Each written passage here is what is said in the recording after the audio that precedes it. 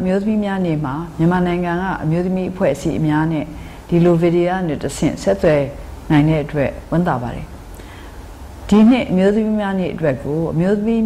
ငယ်များရဲ့ခန္ဓာကိုအထူးမိမောင်းထိုးတာလည်းသင့်တော်ပါတယ်။ဘာဖြစ်လို့လဲဆိုတော့အမျိုးသမီးငယ်များဟာကျမတို့နိုင်ငံရဲ့အနာဂတ်မှာပါဝင်ရမယ့်လူငယ်တွေက တစ်စိတ်တစ်ပိုင်းပါပဲလူငယ်တွေတဲ့တစ်စိတ်တစ်ပိုင်းပေါ့နော်။အဲ့တော့ကျမတို့အနာဂတ်ကိုရှေ့ရှုတယ်ဆိုတာဟာဒီနိုင်ငံအတွက်အင်တာမတ်လိုအပ်တဲ့အရာတစ်ခုဖြစ်ပါတယ်။ကျမကတော့နိုင်ငံရေးလုပ်နေတဲ့အမျိုးသမီးတယောက်အနေနဲ့ပဲဒီနေ့ပြောပြရစီ။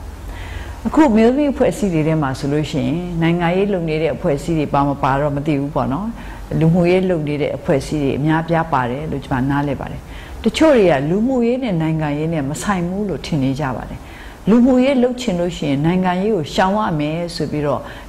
ထင်နေတဲ့လူတွေလည်းအများကြီးရှိပါတယ်အဲ့ဒါကိုတော့ဒါကကျွန်မအမြင်ဒီအမြင်ကိုကျွန်မလက်မခံဘူးလို့ဟိုရိုးရိုးသားသားပဲပြောပြရစီနိုင်ငံရေးနဲ့လူမှုရေးဆိုတာဘလို့မှခွဲခြားလို့မဖြစ်ပါဘူးခွဲခြားလို့လည်းမရပါဘူးနိုင်ငံရေးနဲ့လူမှုရေးကိုခွဲခြားခြင်းဟာတကယ်တော့ပြည့်စုံတဲ့အရာကိုမပြည့်စုံအောင်လုပ်လိုက်တယ်လို့ဖြစ်ပါတယ် တချို့တွေကနိုင်ငံရေးလိုအပ်မှာကိုကြောက်လို့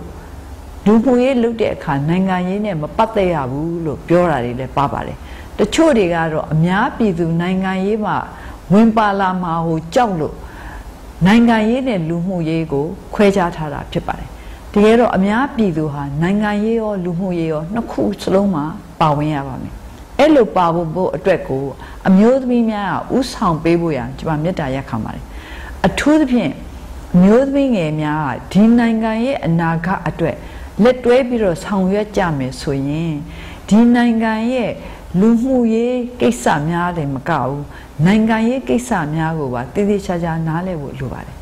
ကျမတို့အမျိုးသမီးငယ်များဟာပညာရေးဘက်မှာလည်းအဆင့်မြင့်လာဖို့လိုပါတယ်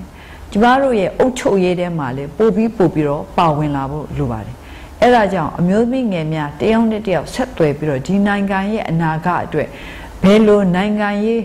လူမှုရေးကိစ္စတွေကိုဆက်ဆက်ပြီးတော့လုပ်ကြမလဲဆိုတာကိုဝိုင်းဝန်းစဉ်းစားကြပါလို့ကျွန်မတိုက်တွန်းချင်ပါတယ်ကျမတို့အနေနဲ့တော့အမျိုးသမီးငယ်များရဲ့ခန္ဓာပုံမပြီးတော့ထင်ရှားလာအောင်လို့ပုံမိုပြီးတော့အရေးပါလာအောင်လို့ဘယ်ဘက်ကနေပဲကူညီနိုင်ကူညီနိုင်ကူညီဖို့အဆင်သင့်ပါပဲဒီနေ့အမျိုးသမီးမများနေ့အခမ်းအနားကိုကျမကိုယ်တိုင်မတက်ရောက်နိုင်တဲ့အတွက်ဝင်းနေပါတယ် ဒါပေမဲ့လည်းနောက်မှဒီလိုတက်ရောက်နိုင်မဲ့အခွင့်အရေးတွေပေါ်လာမယ်လို့လည်းကျမမျှော်လင့်ပါတယ်ဒီလိုအားလုံးတူတူမဆုံနိုင်တဲ့အချိန်အတွင်းမှာတော့စိတ်ချင်းတော့တွဲပြီးတော့ကျမတို့နိုင်ငံရဲ့အနာဂတ်အတွက်အမျိုးသမီးတွေအားလုံးအင်တိုက်အားတိုက်လူမှုရေးနိုင်ငံရေးဘက်ကနေပြီးတော့စ조사သွားကြပါစို့လို့ကျမအနေနဲ့ဆန္ဒပြုပါတယ်